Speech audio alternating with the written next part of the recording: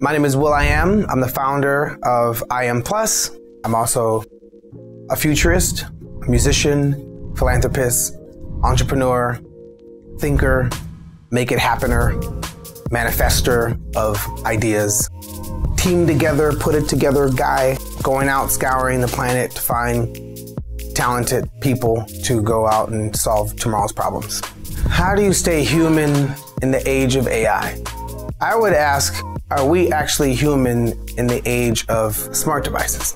It's 1918, and Edison and Teslas are competing to electrify the world, bring light to the world.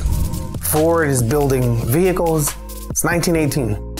But in 2018, you have the Googles, the Amazons, you have Elon Musk's, you have the the independent guys like myself, the speedboats that go out and find talent to build tools to allow you to talk to machines the way we talk to people. And that's what the world looks like tomorrow.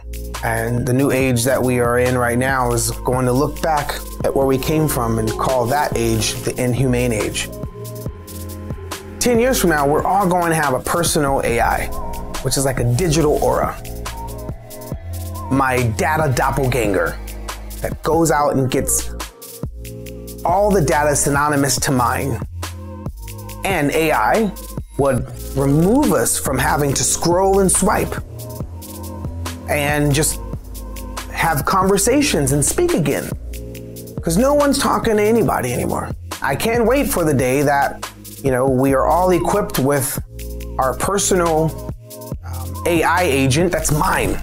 So I can once again have deeper relationships with people that I love and care about.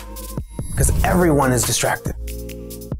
My excitement, the reason why I like artificial intelligence, is because it's going to force humanity to be more human to humans. To be the first time something that exists in the world that can think the way we think and beyond.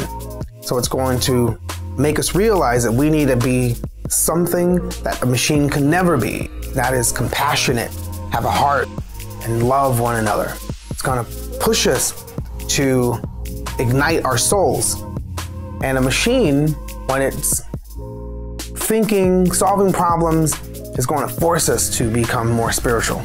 The reason why I'm building AI is because I'm telling kids that they should apply themselves to be a part of shaping tomorrow, especially inner city kids, people of color, women.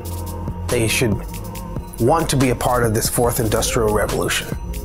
They should want to help mold what tomorrow is going to be like because it's happening right now as we speak.